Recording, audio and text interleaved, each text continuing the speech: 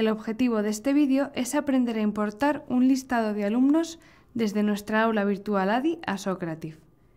Esto lo podremos hacer siempre y cuando nuestra asignatura tenga hasta 150 alumnos. Esta opción permitirá que solo los alumnos de esa asignatura y con un determinado identificador puedan entrar. El identificador será el correo alumni de los alumnos. Para importar una lista a la Rumo clase de Socrative, siga los siguientes pasos. Vaya al aula virtual ADI y seleccione su asignatura. En el menú de la izquierda deberá ir a Herramientas de la asignatura. Ahora seleccione la herramienta Listado de alumnos. En el menú horizontal seleccione Listado de alumnos y se descargará un documento de Excel. Guardamos. Al abrirlo, elimine de ese documento todas las columnas menos nombre, apellidos y correo electrónico.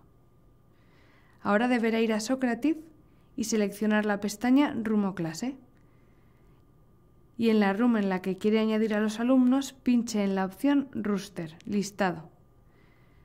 Ahora seleccione Import, importar y aquí es importante que nos aseguremos de que nuestro documento está guardado en formato de Excel y de quitar las cabeceras.